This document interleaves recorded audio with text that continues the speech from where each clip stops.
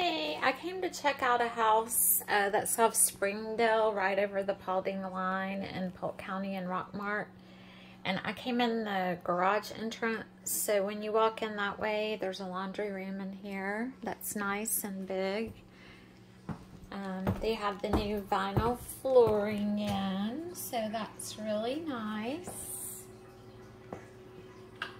And then there's a big wide open kitchen. They've painted the cabinets white and they're really pretty. You could add some pulls to everything and make them more individual to you. The countertop is not hard surface like granite or quartz, but it looks like it and it's in really good shape. And these cabinets are in really good shape too. Like these are newer cabinets, actually because you can tell from the wood they're made out of. So really they just need pulls on them. Yeah, and then here's the other side, the sink with the window over it. It has stainless appliances.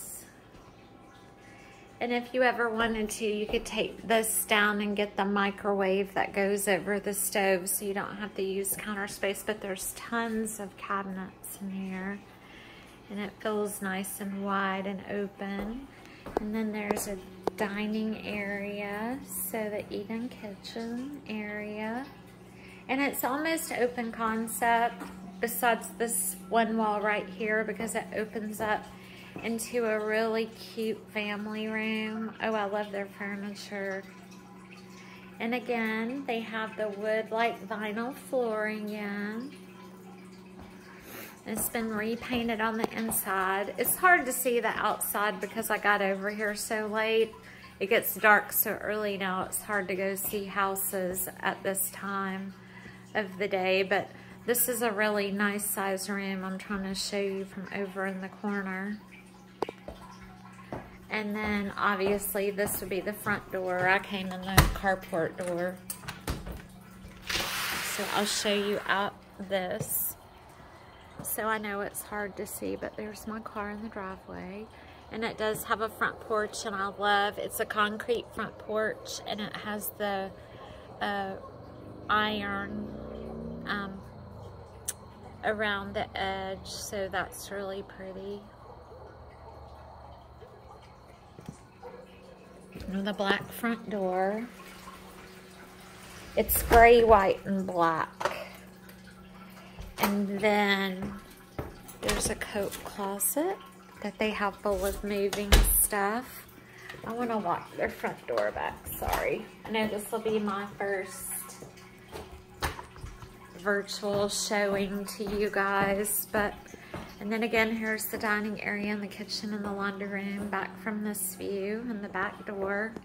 And there's windows everywhere, which is really nice. So it would let in a lot of sunlight if, if it weren't so dark. And then here's the pantry. So this is really large, lots of storage in here. And the hot water heater. And it was installed in 2020, so that's really good. And then there's the electrical.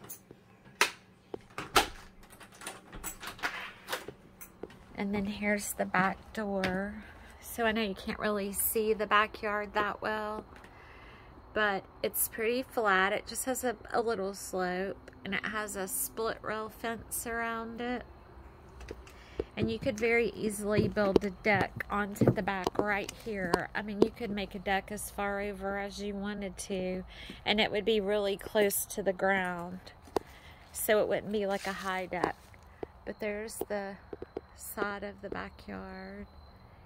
And the split rail does have the little chicken wire in it so that it's definitely like, you know, closed in. And it does have new steps built back here. I would say the outside of this house is more maybe of a pale. I thought it was white and black and gray, but now in the night it looks almost like a pale yellow. And you can close this area off with this door if you wanted to. Let me turn all these off. Oh, maybe I did. Right. And then here's another closet. And then there's a hallway. And the first room on the right is the hall bathroom. It's really cute. Same flooring, new toilet, nice vanity. It looks like a piece of furniture and they have their own mirror up and the new light fixture. And then it has the shower tub combo. That's very nice. The only thing that this house does not have that I know you guys said you really wanted was a garage, but we're going to talk about that. So here's one of the bedrooms. It's a nice size. This has a big bed in it and some furniture, so you can kind of tell how big it is. And then the closet is behind the door. So it's a double closet. I saw a way on TikTok the other day you can fix these bifold doors into regular doors and it was really simple. And I was like, oh my goodness. Oh, this is a huge bathroom. Oh my goodness. This is huge in here. This is like a big wide open bathroom for sure. And it has the tub and shower. Eventually you could put a different kind of tub in here and you could, or tile in a big gigantic shower. Um, it did seem like the ceiling got lower once I came in here, but there's the vanity. It's really pretty. It has the countertops from the kitchen. Everything looks nice and neat. The thing I loved about this house is that everything had been redone for the most part. Um, and so I knew that that's what you guys want wanted. So, and then there is a door at the end of the hallway. It's a pretty far back uh, closet, but they have a lot of stuff in there. And then here's another bedroom with a puppy dog. And it's a little bit smaller, but as you can see, there's also a nice size bed in here. And then the closet. It's right there. Oh, hey, baby. It's okay. I'm sorry I'm in your house. Hey, puppy. I don't want to turn, I can't, the fan is on, but I don't want to turn the light on because of the dog. So they did the new flooring throughout the whole house, so there's no carpet, which is awesome. And then here's the third bedroom. They're using it as a gym. So as you can see, there's plenty of space in here. So these two rooms would be like the secondary and that first room I showed you would be the primary bedroom with its own bathroom. And then there's the closet. And then come back out in the hallway. So that's about it. I mean, it's just a nice small home. It's been redone. I love the flooring and the colors they chose on the inside would go with just about anything. Plenty of room.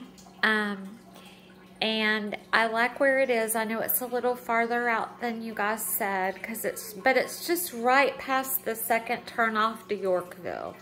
So it's on Springdale, and once you turn on Springdale, it's like not even a mile on the right. Um, so it's a small road, not that busy, um, that has a really slow, um, you know, speed limit because it is a little curvy and bumpy. And then we'll go back out here. I love that it has new cabinets. I love this space back here as well because this just really gives you a lot of room. But I want to show you the carport because I know that he wants a garage. But what I was thinking is that it wouldn't be very hard to close this off and make this a garage. Um, framing that side. Get some siding. Um, insulation and then framing that end as much as you needed to to get a uh, garage door up there and you would end up with this whole space being an enclosed garage. Um, so just a thought. And I was thinking, I don't know how handy you are, but I was thinking with the framework, the siding, insulation, um, and then doing the front part with the garage doors, or if you wanted to put windows over on that side. I mean, you're talking about less than $8,000, maybe a little bit more, because you wouldn't have to do anything to the ground because that's already concrete and it looks like it's in decent shape.